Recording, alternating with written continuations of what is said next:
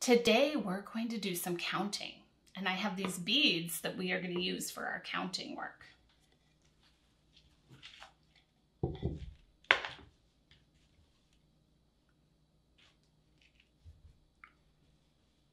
One. Here I have one bead. This is one.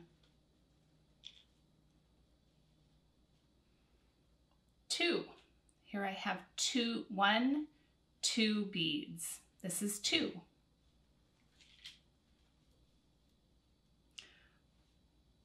One, two, three. This is three.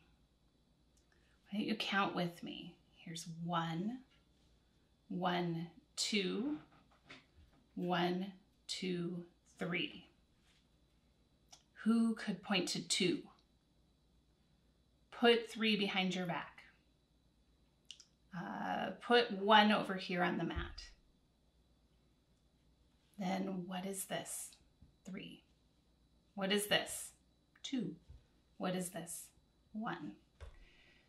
Do any sort of a modified three period lesson, any sort of work where they get lots of practice counting and counting again and again.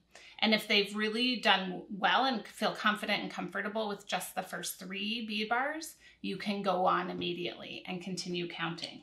So have them count one, two, three, four, uh, and so on until you've built up to them being able to count all the way to 10 with all 10 of the bead bars and practice having fun and playing games with that so that they have a great time as they're as they're practicing their counting.